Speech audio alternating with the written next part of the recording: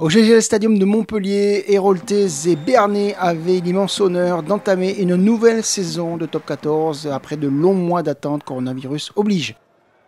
Et après une domination montpelliéraine, c'est Antoine Astoy, le demi d'ouverture Bernay qui euh, marque les premiers points. Mais voilà, coupure d'électricité du côté du GGL Stadium. Il faudra patienter une dizaine de minutes avant que la lumière revienne et que Montpellier, par l'intermédiaire de son champion du monde André Pollard, permette une égalité au score à 3 partout les cistes varient parfaitement leur euh, jeu et euh, utilisent notamment le jeu au pied avec un coup de pied rasant qui va tromper l'ailier palois. Ngang DB a bien lu la trajectoire et pu récupérer la balle avant de servir l'international troisième ligne Yakuba Kamara. Ce dernier n'a plus qu'à aller marquer en évidemment sprintant. Le premier essai de cette saison est donc marqué par les 6 qui mènent 8 à 3 puis 10 à 3 grâce à la botte de Pollard. Mais voilà, il y a un garçon qui fourmille d'ambition sous les yeux du sélectionneur Fabien Galtier, c'est Antoine Astoy. Il est repositionné au centre, le demi d'ouverture sous action, il se fait la belle, il rafute Camara et il peut servir Clovis Lebaille, le demi de mêlée titulaire du jour.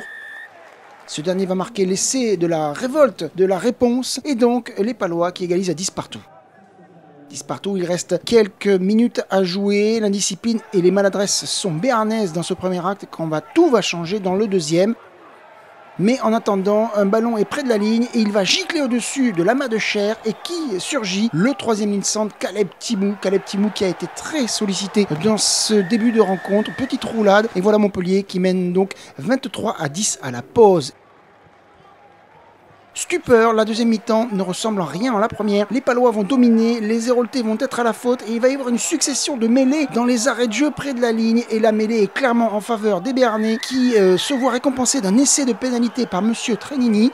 Du coup, ils remontent leur retard avec déjà le pied de Astoy et voilà comment ils s'imposent dans les arrêts de jeu 26-23 sur ce dernier essai.